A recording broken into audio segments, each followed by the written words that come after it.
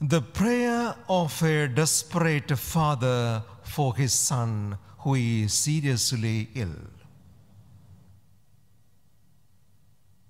Father is a non believer, a court official of Herod, to any request. Here in this case, he must have been easily put off by the words of Jesus, but he doesn't because he was so desperate. Request to Jesus to come quick. Lazarus is poorly. The Lord doesn't, did not seem to bother. He stayed for two more days where he was. Or at Cana, when Mary asked Jesus for a miracle, no, he was. One thing is clear the Lord is not very keen on doing miracles. All the way through in the gospel, the Lord is never keen on doing miracles. Remember the first temptation, the devil, come on, turn these stones into bread. The point is, miracles are for only for those who need some encouragement in their faith. If you really believe, you won't ever ask for miracles. Miracle. The Lord will answer your prayer in one way or the other, beyond the way you can comprehend. Always be sure you believe in God, you pray, you light a candle, and whatever happens, it is Lord's answer, it is for the good.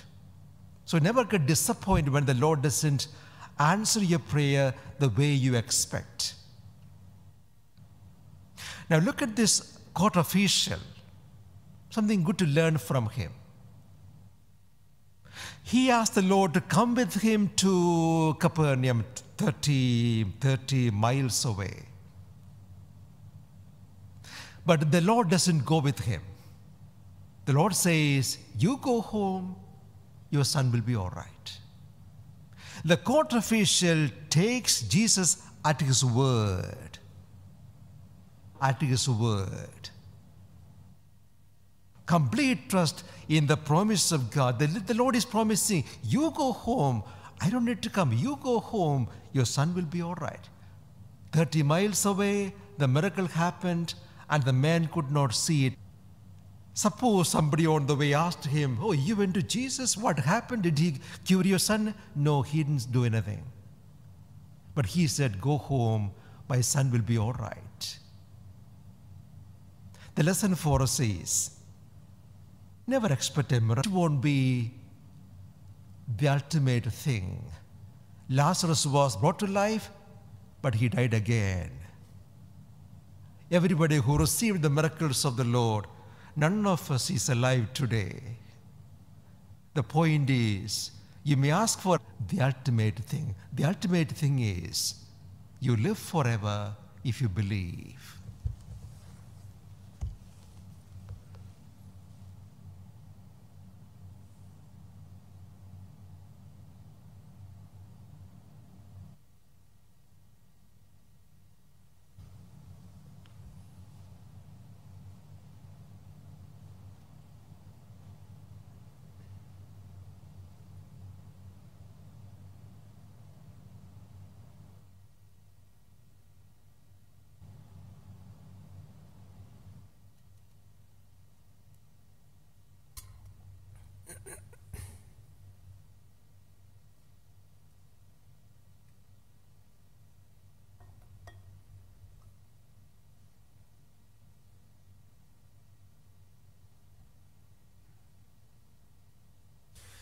Blessed you, Lord, God of all creation, for through your goodness we have received the bread we offer you, fruit of the earth for us.